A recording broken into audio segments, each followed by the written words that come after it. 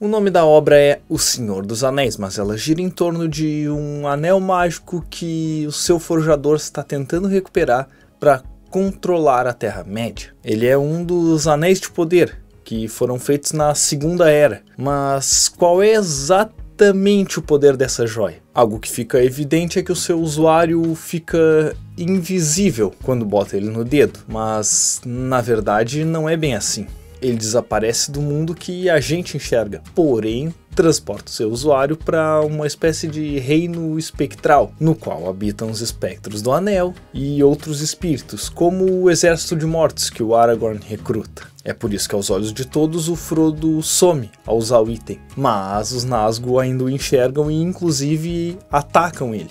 Ou seja, ele dá ao usuário a capacidade de trilhar por esse mundo invisível e ainda assim interagir com o mundo visível. Outra coisa que ele faz é amplificar os poderes do usuário. O Sauron era alguém poderoso, então ao utilizar a joia ele pôde dominar a vontade dos nove reis homens e assim escravizá-los à sua vontade e malícia. E por amplificar os poderes é que o Gandalf não ousa utilizá-lo, pois ele iria querer fazer o bem, mas poderia ser corrompido, e aí teríamos um poderoso mago do mal, assim como a Galadriel, naquela cena em que ela testa sua vontade contra um anel e vence. Já na mão dos hobbits, que são criaturas sem grandes ambições, o um anel não pôde amplificar poder algum.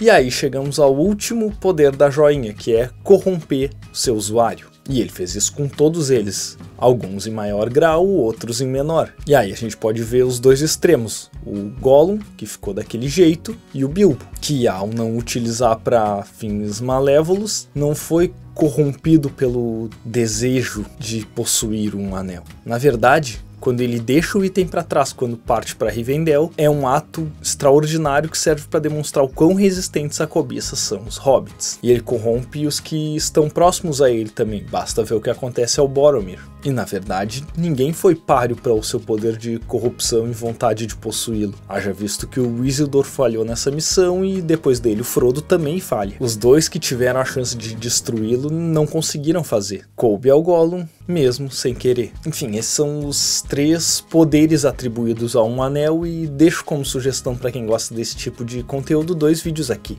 Um sobre uma teoria de que um anel na verdade ele enfraqueceu o Sauron e outro sobre o reino espectral, o habitat dos Nazgûl e outros espíritos da Terra-média. Obrigado por assistir e até mais.